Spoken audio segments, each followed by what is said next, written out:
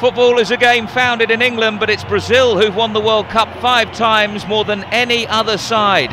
Welcome to the Khalifa Stadium in Doha, Qatar, an international friendly match between Brazil and England. England have only ever beaten the Brazilians on three occasions. Each of those was a friendly match. Space on the far side here for Bastos. He might fancy the shots. Not a bad effort from Michel Bastos on his debut. The Lyon fullback picked by Dunga for this one. And midway through this first half, the first real attempt on goal from either side. Just dragged it wide of Ben Foster's upright. Not a bad chance. Some space here for England to push forward. Milner, who's on onside. Couple to aim for in the box, one of which is Bent. Just put wide by the Sunderland striker. Maybe a bit of confusion with his new strike partner, Captain Wayne Rooney. They both appeared to go for the same ball here. He connected but couldn't find the target. Thoughts of the shots. Bluma Elano, who used to play his football at Eastlands for Manchester City, now in the Turkish league with Galatasaray, but fortunately for England, over the top. England defence just backing off a little bit here. No foul given. Play on, says the referee. Kaká's pushing into a dangerous position here. Kaká! Well, we know what a danger the AC Milan striker can be. And the first real test for Ben Foster at full stretch. He held on well here. Brazilian player through the middle, about to pounce.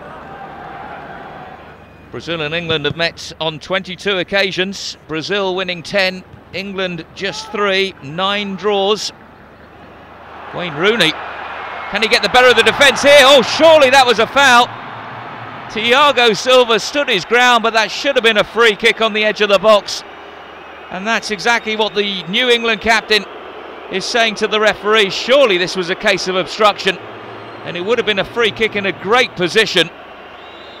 Rooney denied it was outside the box. Fabio Capello absolutely incensed. It's a useful ball, and the header from Nilmar finds the back of the net. Just two minutes into the second period, and the former world champions have taken the lead. Elano with the supply, and the Villarreal striker bags his seventh goal in nine internationals now. A looping finish to beat Foster. 1 0 Brazil. Another long ball forward here. Oh, Brown, what was he thinking? And Foster with the foul. It's a penalty. The goal scorer, Nilmar, running through on goal. But surely that's got to be put down to Wes Brown's poor back pass. He was in no man's land here, indecisive, not enough on the ball. And Foster came charging out. No question at all. It's a spot kick to the Brazilians.